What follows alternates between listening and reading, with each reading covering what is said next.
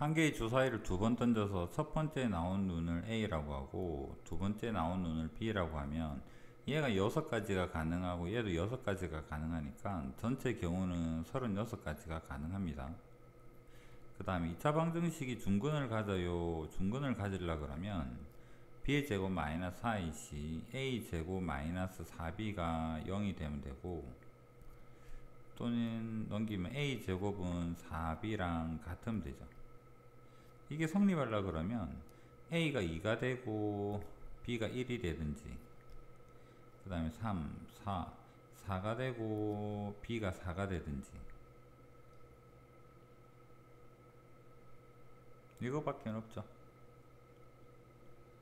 그래서 A가 2가 되고 B가 1이 되든지 A가 4가 되고 B가 4가 되든지 두 가지 경우밖에 없기 때문에 확률은 전체 경우 36가지 중에서 가능한 경우가 순서상이 두 개밖에 없습니다.